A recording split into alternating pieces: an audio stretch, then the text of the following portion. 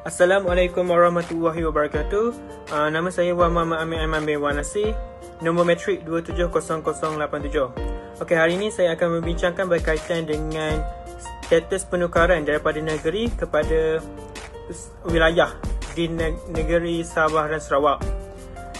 Jadi, dalam dalam kajian Perjanjian Malaysia 1963 iaitu dipanggil MA63 menegaskan pengembalian status Sarawak dan Sabah seperti terkandung dalam MA63 memberi negara asas yang kukuh untuk mengelakkan hubungan ketiga-tiga wilayah.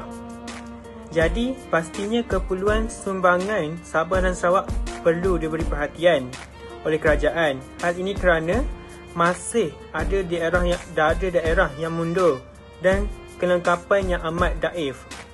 Jadi, kajian MA63 ini akan menimbulkan keperluan penilaian semula beberapa amalan yang sudah terlaksana sebelum ini.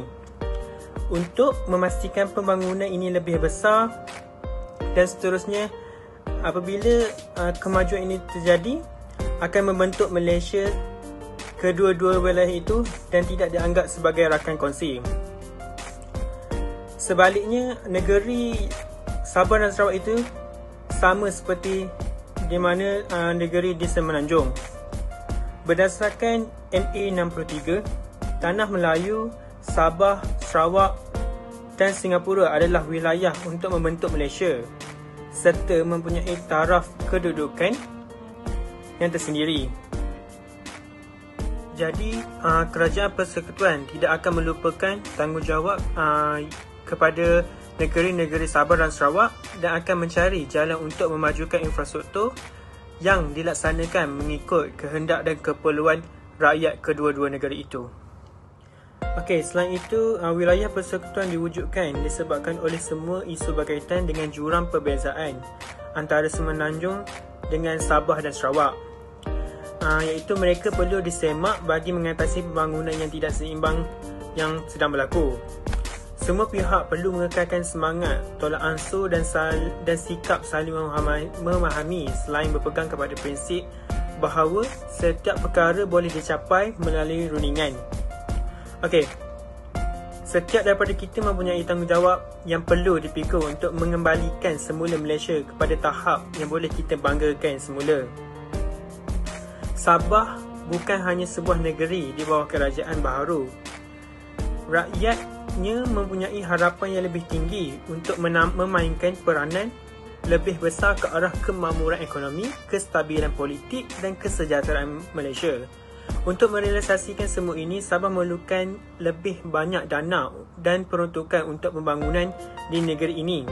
Kerajaan negeri akan terus bekerjasama dengan kerajaan persekutuan untuk memastikan hak dan kepentingan rakyat Malaysia di negeri ini terus terpelihara.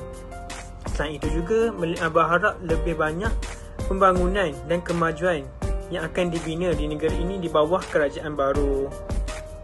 Jadi, dengan berlakunya isu uh, seperti penukaran uh, negeri kepada wilayah telah memberi kesan sama ada negatif dan juga kesan positif kepada rakyat Sabah dan Sarawak dan juga Malaysia.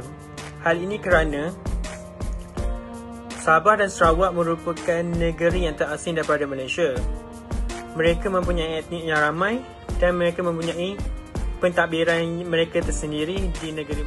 Seterusnya, jelaslah penukaran status negeri kepada wilayah telah memberikan kesan yang positif dan manfaat kepada penduduk Sabah dan Sarawak di mana kerajaan akan memperuntukkan sebanyak mungkin untuk pembangunan dan pembangunan infrastruktur di kawasan tersebut. Kerana Sabah dan Sarawak yang sedia, maklum kita tahu mereka kurang dalam pembangunan kerana keluasan kawasan yang terlalu besar.